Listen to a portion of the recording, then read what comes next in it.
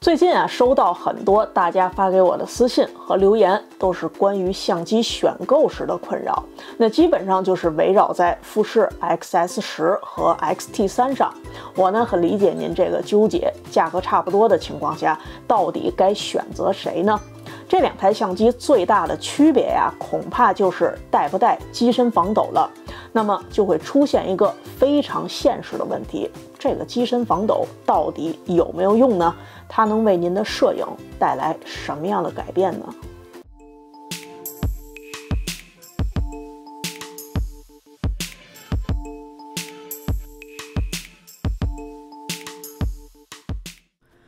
城市行者实战课程的第八集夜景摄影的终极教程已经上线，详细的讲解了手动包围曝光的拍摄方法，在城市摄影中啊，对焦点到底该落在哪里，以及什么是超焦距，如何利用好它来获得超大的景深，让照片清晰锐利。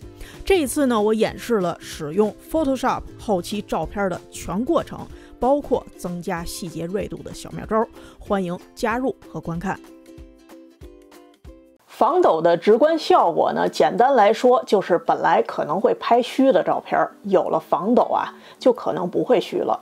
这通常呢是因为快门速度非常的低，已经超出了可以手持端稳的范围。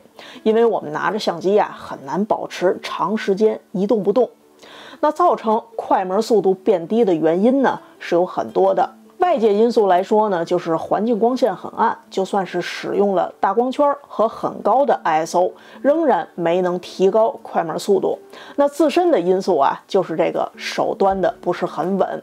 那这个呢，也是因人而异，十分的不稳定。可能吃饭前端不稳，吃饱了饭就端稳了。特别是在使用长焦镜头的时候呢，就更容易拍虚端不稳了。现在所在的地方呢，是一个小广场。然后呢，使用的是这个富士 XS 十加上七零三百的这样的一个长焦镜头。我现在设置为光圈五点六，然后呢，ISO 用一个两百。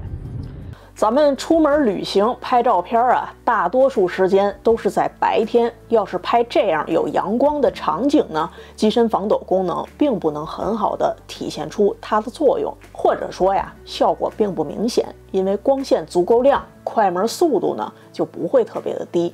例如这张照片，三百分之一秒的快门速度，在使用七十毫米端拍摄的时候呢，毫无压力。但是同样是白天，我站的位置呢也没有变，只是换个角度拍摄的对象，如果是背光或者是处于阴影中，它的光线亮度呢就明显不如刚才阳光直射的区域了，快门速度呢就会下降，变成了一百六十分之一秒。所以啊，您看所谓的环境光线变暗，并不仅仅是我们想象中室内是暗的，室外的阴影也有可能很暗。比如我在树下拍摄小松鼠，明明就是白天，但由于树叶非常的茂盛，挡住了直射的阳光，松鼠呢完全处于阴影当中。使用二百一十五毫米的焦段呀，快门速度降低到了八十分之一秒。由于快门速度太低，就有了拍虚的可能性了。使用带有防抖的机身和镜头呢，相比没有防抖来说呀。可以有效的提高几率，获得更清晰的画面。但是呢，这也不是百分百成功。就算是连拍这么多张，也就只有这么一两张没拍虚。所以有了这个防抖的加持啊，就可以让我们在低速快门的时候获得比以前更清晰的画面了。可是明明可以使用高速快门，为什么非要用低速呀？这个呢，有可能是故意想使用低速快门去拍摄，那也有可能呢是忘了看参数，不小心使用了低速快门。当这个快门速度变低，会有什么好处呢？哎，可以使用更低的 ISO，减少噪点的产生了。二呢是光圈可以适当的缩小了，这样就可以获得更大的景深。三呢是使用长焦镜头的时候啊。可以更容易操控了，不容易拍虚。再有啊，第四就是可能需要追求一些特殊的拍摄效果，比如在街头拍摄行人，可以稍微的虚化，营造那种动感的效果。那没有防抖功能的富士 X-T3 在今天就不值得购买了吗？这是我在去年的设备盘点视频里边啊聊过的一个思路。我在购买这个第二台 X-T3 的时候，实际上呢已经推出了带有机身防抖的新一代产品 X-T4。但是啊，我依然选择了这个 X-T3。这不仅仅是因为它当时价格非常低，而是对于我平时拍摄的题材来说呢，手持的机会并不多。虽然大多数时间啊都是日落和夜晚这种暗光的环境，但是啊，可以说百分之九十五以上的时间呢，我都是在三脚架上拍摄的。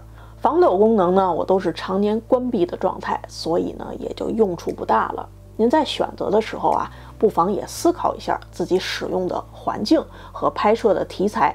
如果手持的拍摄比较的多，比如旅行和街拍这种逛着拍的，那么防抖功能对于您来说还真是挺有帮助的。特别是刚接触摄影，对快门速度的把握呀不是特别好，防抖功能呢可以为您降低拍虚的风险。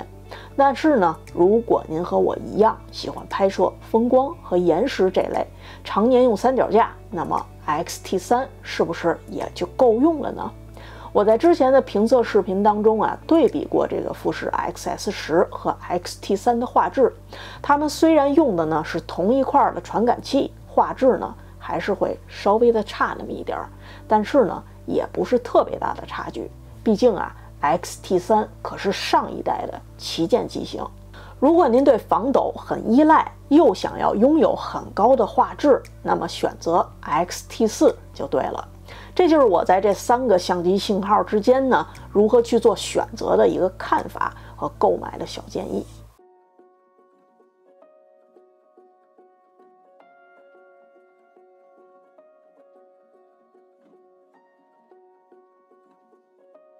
光圈优先模式呢，可以说是一个几乎万能的拍摄模式，大多数的拍摄您都可以用它去完成。我在拍摄这个小测试的时候啊，用的也是光圈优先模式。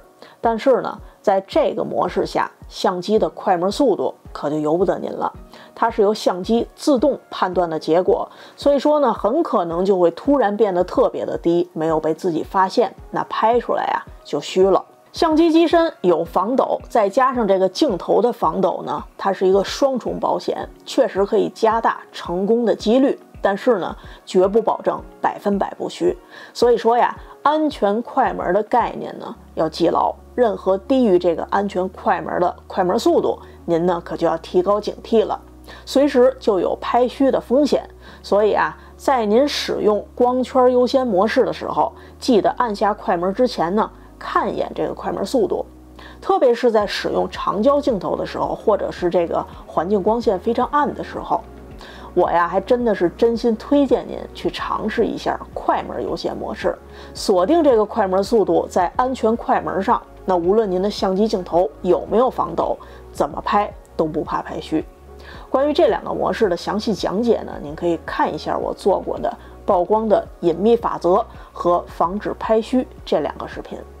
另外呢，您别忘了在相机当中啊，要打开这个防抖功能才行。在菜单当中的拍摄设置，找到防抖模式，打开它。在 XS 十的菜单当中啊，多了两个选项，您会发现呢，它有可能是灰色的，无法选择。那是因为在 ISO 锁定在任何数值的情况下呢，它就没有办法被选择了，需要将 ISO 放到自动挡，这两个模式呢。就会自动的解锁了，而在 X-T3 当中呢是没有这两个选项的。我猜啊，它是机身防抖带来的特殊福利吧。这两个模式呢，主要是用来拍摄移动物体的。做这样一个小测试呢，希望能够帮您解答一点困惑，闹清楚自己该买哪台相机。要我说呀，看哪台顺眼就买哪台。毕竟啊，这是以后每天都会带在身上的小玩意儿，喜欢呢才是最重要的。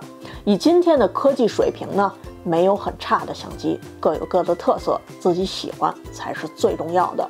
当然呢，您也别忽视摄影后期的重要性。点击我的频道，十八个 Lightroom 教程和二十二个 Luminar 教程，帮您解决后期难题。这么多精心制作的教程还都免费，您看多划算！感谢收看《旅行摄影小课堂》，我是 ID，每周分享一个旅行摄影相关的内容。感谢您的支持和关注，咱们一起玩摄影。